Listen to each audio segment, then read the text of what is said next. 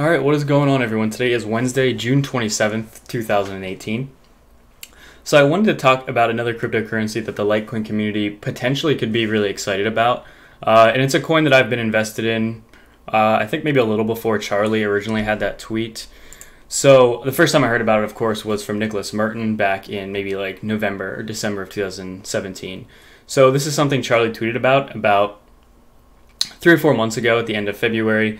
I took a look at Nano currency recently. Pretty neat. Every account has its own blockchain. It focuses on fast and free transactions for payments, uses proof of stake for double spend protection, and proof of work to fight spam. The challenge is to keep it decentralized. Disc- disclaimer I own some Nano. So Charlie has said before that he does own other cryptocurrencies. I think he even had a tweet maybe a few days ago because uh, somebody was saying about how Charlie didn't didn't um, lose any money because of this downturn in the market. And I, will try and find that tweet real quick. Uh, yeah, this is the tweet three days ago on June 24th. Somebody had said to him, The market is giving you a beating. That's a load of BS. You sold all your Litecoin. So the person was essentially saying, like, you're not suffering because you sold at all time highs. But Charlie responded, Don't presume to know how much I have in crypto. I also warn people that if they can't stand a 90% drop in their coin value, don't invest. And Charlie did say I've lost more money in this bear market than 99.999% of my followers. So essentially, what that means is he has other investments in cryptocurrency. And one of those cryptocurrencies is Nano. And so his tweet there that said about decentralization being a problem. So if we go into cryptocurrency Reddit, the very top two posts are Nano ranked the fastest payment system among all cryptos on Binance. And the second post is that Nano is now truly decentralized question mark. And so again, Usually the top comments probably have some pretty good information. Uh, and this individual said something to keep in mind is that the decentralization process is essentially a logarithmic scale. You are centralized until you aren't, and then you can continue to become increasingly more decentralized until it becomes essentially impossible for collusion to affect consensus, at which point it is simply the community making a shared decision. It's fair to say that Nano's decentralization is underway, but the risk of minority collusion controlling the network is still too high to call it truly decentralized. However, uh, it's it's on its way. So I think it's uh, definitely worth considering or just even watching out for Nano in the future. It seems like they're making good steps towards doing what they need to do to stick around um, in this cryptocurrency market. So good news either way. Keep it up, Nano. And and so that was by Edgegasm, and then Gaobi said, "Great points. Decentralization is a dynamic spectrum based on nodes, owners, and usage. To say anything is de facto decentralized is silly and wrong unless." All users run a personal node. This is an indication of a positive trend for Nano, a relative improvement compared to some cryptocurrencies, and a relative downgrade compared to others.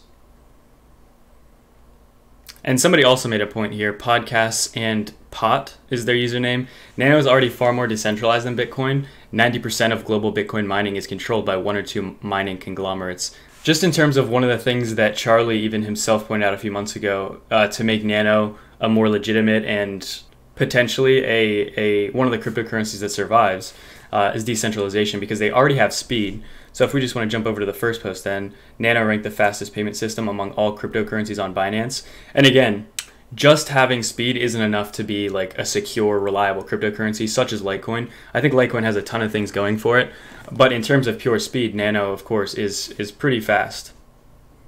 And again, Nano used to be XRB, it, was, it used to be Raiblocks, and it was rebranded to Nano. And so this is just kind of like a little chart here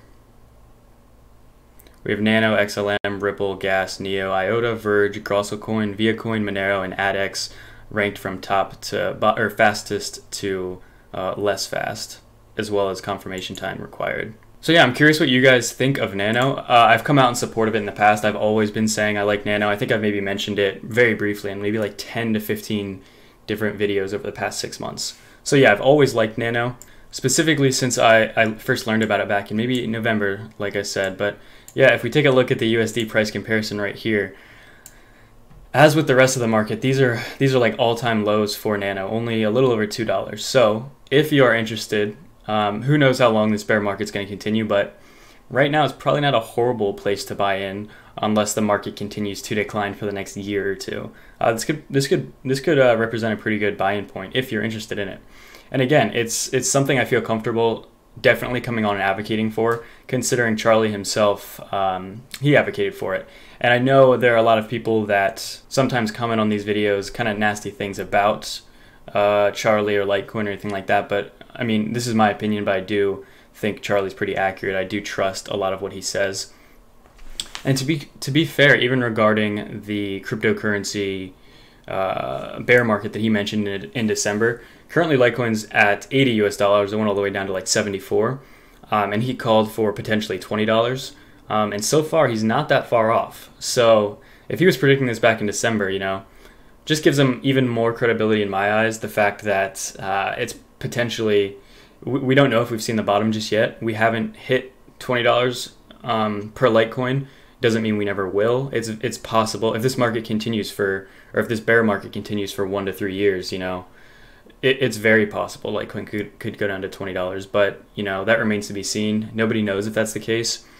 Uh, and like everyone says, this could really turn around any single day now. Chances are right now it probably won't, at least the current uh, condition of the market, but there is good news coming out every single day um, in favor of cryptocurrency. Like just yesterday was the Facebook, uh, Facebook ads and everything. So yeah, for all the Litecoin supporters watching, if you guys are interested in Nano as well, please uh, let me know what you think of it. I, I, really don't get that many comments about Nano, which is kind of surprising given how um, Charlie has been an advocate, or at least said that tweet and then said some positive things since then, four months ago.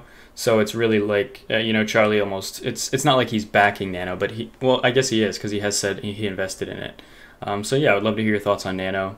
Uh, and full disclaimer as well, I think I've said this many dozens of times, but yeah, I, I also own some Nano.